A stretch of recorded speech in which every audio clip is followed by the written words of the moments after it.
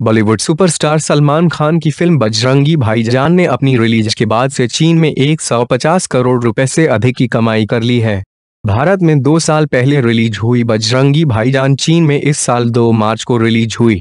चीनी box office पर release होने वाली यह सलमान की पहली फ़िल्म है।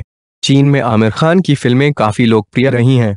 बजरंगी भाईजान के निर्माताओं की ओर से जारी बयान के मुताबिक, फ़िल्म विदेशी बाज़ार में अच्छी कमाई कर रही है। बयान के मुताबिक, इरोज इंटरनेशनल और सलमान खान की फ़िल्म बजरंगी भाईजान का चीन में दूसरा शनिवार शानदार रहा।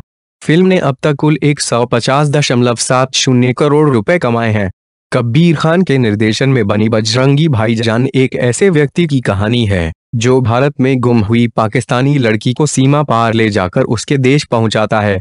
फ़िल्म में बाल कलाकार हर्षाली मल्होत्रा, अभिनेत्री करीना कपूर खान और नवाजुद्दीन सिद्दीकी खास भूमिकाओं में है। बजरंगी भाईजान ने चीन में अपनी रिलीज़ के पहले ही दिन 18 करोड़ रुपए की कमाई की थी। चीनी बॉक्स ऑफ़िस के मुताबिक, बजरंगी भाईजान ने चीन में आमिर खान की दंगल की पहले दिन की कमाई को पछाड़ दिया। हालाँकि, बजरंगी भाईजान की कमाई हाल ही में रिलीज़ हुई आमिर खान की फ़िल्म सीक्रेट सुपरस्टार से कम है, जिसने चीन में रिलीज़ के पहले दिन 40 करोड़ रुपए की कमाई की थी।